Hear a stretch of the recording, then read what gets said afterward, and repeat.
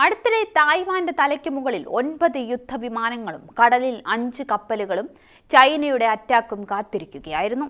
അത് ഏതു വിധേനയും തായ്വാനെ പിടിച്ചടക്കുക എന്ന ഒറ്റ ഉദ്ദേശം കൊണ്ട് മാത്രമാണ്. ചൈനയ്ക്ക് എല്ലാ രാജ്യങ്ങളുടെയും മുകളിൽ ആധിപത്യം ഉറപ്പിക്കുക മാത്രമാണ് ആവശ്യം. അതിനായി ഏതറ്റം വരെ പോവുകയും ചെയ്യും. എന്ത് തറവേല കളിക്കുകയും ചെയ്യും.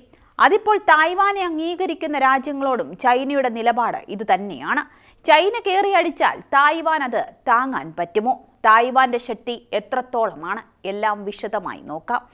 തായ്വാൻ ചൈനയുടെ നിയന്ത്രണത്തിന് അപ്പുറത്ത് പ്രവർത്തിക്കുന്ന ഒരു രാജ്യമാണ്. ഇതിന്റെ പേരിൽ ധാരാളം ഉരസലുകളുമുണ്ട്.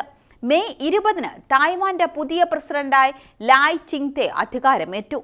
പുതിയ പ്രസിഡന്റ് നടത്തിയ സ്വാതന്ത്ര്യ അനുകൂല പ്രസംഗം ചൈനയെ പ്രകോപിപ്പിച്ചു. തായ്വാനെ സ്വാതന്ത്ര്യം എന്നതിന് യുദ്ധം എന്നാണ് അർത്ഥമെന്നും ചൈന ഇതോടെ മുന്നറിയിപ്പ് നൽകി. ദ്വീപായ തായ്വാൻ തങ്ങളുടെ ഭാഗമാണെന്നാണ് ചൈനയുടെ നയം. വലിയ സംഘർഷാവസ്ഥയ്ക്കാണ് ചൈനയുടെ ഈ വാദം കാരണമായത്.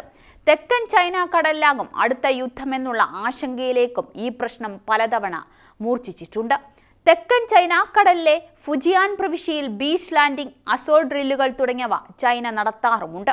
ഇത് തായ്വാനിൽ വലിയ ആശങ്ക ഉണ്ടാക്കാറുമുണ്ട്. പല ഗ്രൂപ്പുകളിലായി ബീച്ചിലിറങ്ങി ആക്രമണങ്ങൾ നടത്തി അധിനിവേശം പുലർത്തുന്ന രീതിയാണ് ചൈന പരീക്ഷിക്കുന്നത്.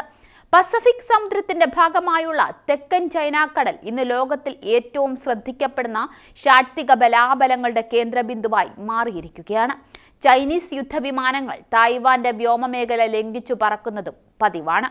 തായ്വാനുമായി കടൽ അതിർത്തി പങ്കിടുന്ന ദക്ഷിണ മേഖലയിലെ ഷാൻഡു വിമാനത്താവളത്തിൽ നിന്നും പാസഞ്ചർ വിമാനങ്ങൾ ഒഴിപ്പിച്ച് അവിടെ സൈനിക വിമാനങ്ങൾ ഒരുക്കിയിടുന്ന ചൈനീസ് നടപടി ലോകത്തിന്റെ വിമർശനത്തിന് വഴിയൊരുക്കാറുണ്ട്. രണ്ടാം ലോക യുദ്ധത്തിന് മുൻപ് ജപ്പാന്റെ നിയന്ത്രണത്തിലായിരുന്ന തായ്വാൻ ദ്വീപ് ലോക യുദ്ധത്തിലെ പരാജയത്തിനു ശേഷം ചൈനയ്ക്ക് കൈമാറി. എന്നാൽ ആയിരത്തി തൊള്ളായിരത്തി നാൽപ്പത്തി ഒൻപതിൽ ചൈനയിൽ കമ്മ്യൂണിസ്റ്റ് വിപ്ലവം ഭരണപ്രാപ്തിയിലേക്ക് എത്തുകയും മാവോ സേതു അധികാരം പിടിക്കുകയും ചെയ്തു. ഇതോടെ ചൈനയിലെ ദേശീയവാദികളായ കുമിന്താൻ തായ്വാനിലേക്ക് പോവുകയും അവിടെ റിപ്പബ്ലിക് ഓഫ് ചൈന എന്ന പേരിൽ രാജ്യം സ്ഥാപിക്കുകയും ചെയ്തു. തായ്വാനെ അംഗീകരിക്കപ്പെടുന്ന രാജ്യങ്ങളോടും സ്ഥാപനങ്ങളോടും ശത്രുതാ മനോഭാവമാണ് ചൈന പുലർത്തിപ്പോരുന്നത്. ചൈനയും തായ്വാനുമായുള്ള സൈനിക താരതമ്യം ചൈനയ്ക്ക് ആത്മവിശ്വാസം നൽകുന്നതുമാണ്. നൂറ്റി നാൽപ്പത് കോടി ജനസംഖ്യയുള്ള ചൈനയും വെറും രണ്ടേ ദശാംശം അഞ്ച് കോടി ജനസംഖ്യയുള്ള തായ്വാനും തമ്മിൽ വലിയ അന്തരമുണ്ട്. ചൈനയുടെ മിലിറ്ററി ബജറ്റ് ഇരുപത്തി അയ്യായിരം കോടി യു എസ് ഡോളറാണ്. തായ്വാന്റേത് ആയിരത്തി അഞ്ഞൂറ് കോടി യു എസ് ഡോളർ തികയില്ല. എന്നാൽ തത്വത്തിൽ ലളിതമല്ലെങ്കിലും തായ്വാനെ കീഴടക്കാൻ എളുപ്പമല്ലെന്ന് പ്രതിരോധ ഗവേഷകർ പറയുന്നു. ഇത്തരം ഒരു അധിനിവേശം തായ്വാൻ പതിറ്റാണ്ടുകളായി പ്രതീക്ഷിക്കുന്നുമുണ്ട്.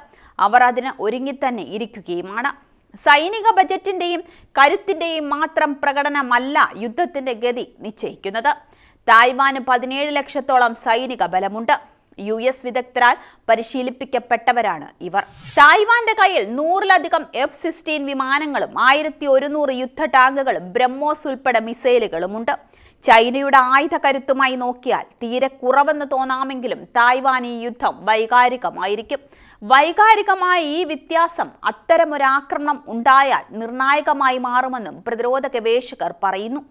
യു എസിനും വിയറ്റ്നാമിലും ബ്രിട്ടനും ദക്ഷിണാഫ്രിക്കയിലും റഷ്യൻ സാമ്രാജ്യത്തിനും റഷ്യയിലും ഇറ്റലിക്ക് അബീസീനിയയിലും ഒക്കെ ഇത്തരം പരാജയങ്ങൾ സംഭവിച്ചിട്ടുമുണ്ട്.